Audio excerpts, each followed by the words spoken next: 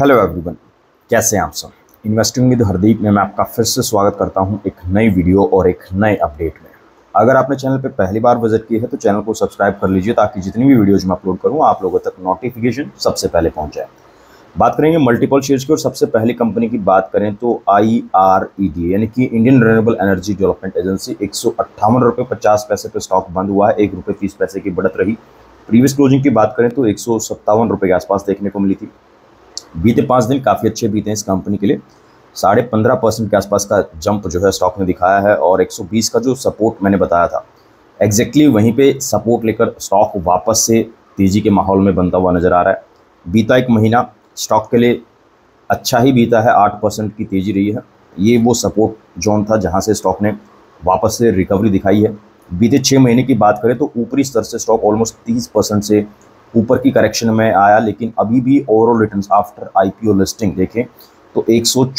Percent return जो हैं आईआरईडी ने अभी तक अपने मैक्सिमम रिटर्न्स पे बनाकर दिए हैं। लॉन्ग टर्म के हिसाब से काफ़ी अच्छी ग्रोथ जो है इस कंपनी के अंदर देखने को मिल सकती है। एक्सपेक्टेड क्वार्टर फोर के रिजल्ट्स पे बहुत बड़ी जो है डिपेंडेंसी रहेगी कि कैसे कुछ नंबर्स कंपनी अपने पेश करती है क्वार्टर फोर में। Quarter three after listing just quarter three के नंबर्स आए थे पॉजिटिव नंबर पेश किए थे, तब भी और उसके बाद से काफ़ी अच्छी रैली भी देखने को मिली और तेज़ी के बाद जो है शॉर्ट में प्रॉफिट बुकिंग भी स्टॉक के अंदर देखने को मिली है। अपडेट की बात करें तो I R E D A shares extend gains as stock jump ten percent in two days will this upmove sustain तो जिस तरीके की तेज़ी है स्टॉक में आई आर ई डी के अंदर, क्या वो आने वाले समय में मेंटेन रह सकती है? क्योंकि देखिए, पहली चीज़ तो ये समझिए कि लॉक इन पीरियड जो है वो अब यहाँ पे इन्वेस्टर्स का ख़त्म होने वाला है अप्रैल के एंड में। तो मार्केट में ऑलमोस्ट 1.5 सीआर शेयर्स जो हैं ट्रेडेबल हो जाएँगे आईआरडी के। और टेक्निकल एनालिस्ट का मानना है कि अभी भी स्टॉक जो है बुलिश है डेली चार्ट्स के ऊपर। और स्टॉक में नियर टर्म ऑलमोस्ट 160 तक के लेवल्स देखने को मिल सकते हैं। स्टॉप लॉस की बात करें तो 142 के आसपास का देखने को मिल रहा है। डेली चार्ट्स के ऊपर जो है स्टॉक अभी भी काफ़ी बुलिश देखने को मिल और कुछ ब्रोकरेज का मानना है कि एक रुपए तक के लेवल्स जो हैं आई आर ई डी के अंदर देखने को मिल सकते हैं। अगर आप बैंक निफ्टी निफ्टी, फिर निफ्टी के अंदर ट्रेडिंग करते हैं ट्रेडिंग को सीखना चाहते हैं ट्रेडिंग से डेली का तीन से चार हज़ार तक का प्रॉफिट अर्न करना चाहते हैं, साथ में stocks related updates regular free of cost पाना चाहते हैं वीडियो के डिस्क्रिप्शन बॉक्स में आप लोगों को मेरे फ्री टेलीग्राम ग्रुप का लिंक मिलेगा, जहाँ पर डेली लाइव मार्केट के अंदर मैं एक से दो demo call free of cost provide करता हूँ, जिससे आपको लर्निंग प्लस अर्निंग दोनों में आसानी हो जाती है।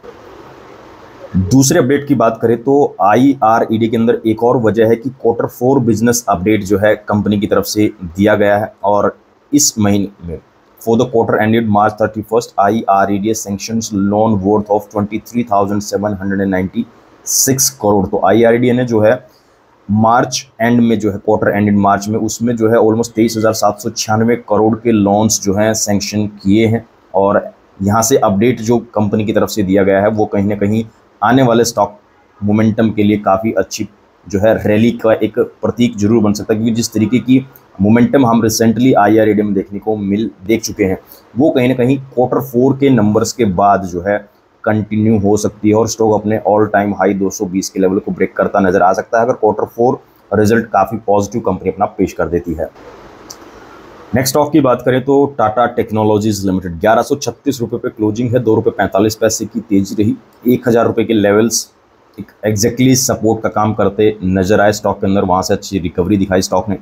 बीते पाँच दिनों में दस परसेंट के आसपास का उछाल है और बीता एक महीना पॉजिटिव ही बीता है, जबकि आफ्टर लिस्टिंग स्टॉक में लगातार हमें फॉल ही देखने को मिला था और अब जाके स्टॉक में मोमेंटम है। मैक्सिमम रिटर्न्स देखें तो ऊपरी स्तर से सात परसेंट की करेक्शन है, लेकिन अगर 1400 के आईपीओ प्राइस की बात करूँ तो स्टॉक में अच्छी खासी प्रॉफिट बुकिंग आने के बाद स्टॉक ने एक पॉजिटिव मोमेंटम दिखाया है। अगर ये सस्टेन करता है तो स्टॉक में हमें 1200 प्लस तक के लेवल्स देखने को मिल सकते हैं और काफ़ी मोमेंटम एक्सपेक्टेशन की अगर बात करें तो टाटा टेक्नोलॉजीज़ पे डिपेंडेंसी भी ये रहेगी कि क्वार्टर फोर के रिजल्ट्स कैसे कंपनी अपनी पेश करती है। तेज़ी की वजह अगर देखें तो Tata technology share jump 12 percent after joint venture with BMW तो बीएमडब्ल्यू के साथ में जो है टाटा टेक्नोलॉजीज़ ने एक ज्वाइंट वेंचर साइन किया है, जिसकी वजह से स्टॉक में तेज़ी देखने को मिल रही है। और Tata technologies limited the recent dividend of the Tata group has joint hand the Germany's luxury car maker BMW group to form a joint venture to establish an automotive software and IT development hub in Pune, Bengaluru, and Chennai. Our analysts continue to have a mixed view on Tata Motors tech arm. The BMW Tata Technologies venture, the first partnership between the two, will develop automotive software for automated driving and the dashboard system among other features तो ऐसे में B का और Tata technologies का एक joint venture जो कि आने वाले समय में ऑटोमोटिव टेक्नोलॉजी को बूस्ट करेगा। ऐसे में तीन सेंटर्स खोलने की, तीन हब खोलने की बात जो है यहाँ पे रखी गई है। आईटी डेवलपमेंट हब खोले जाएँगे पुणे, बेंगलुरु और चेन्नई के अंदर। एक और अपडेट की बात करें तो टाटा टेक्नोलॉजीज़ हो या फिर आई आर ई डी हो इसी के साथ जो है चौंसठ और स्टॉक्स जो हैं यहाँ पे लॉक इन जिनके क्वार्टर वन के अंदर एक्सपायर होंगे तो काफ़ी सारे जो है शेयर्स के लॉक इन पीरियड खत्म होंगे तो ऐसे में टाटा टेक्नोलॉजीज़ और आई आर ए पे खास नज़र आप लोगों को रखनी पड़ेगी क्योंकि टोटल यहाँ पे जब लॉक इन पीरियड खत्म होगा तो बहुत सारे शेयर्स जो हैं ट्रेडेबल हो जाएँगे मार्केट के अंदर, और जिसकी वजह से स्टॉक में आगे की रणनीति ज़रूर तैयार करनी पड़ेगी।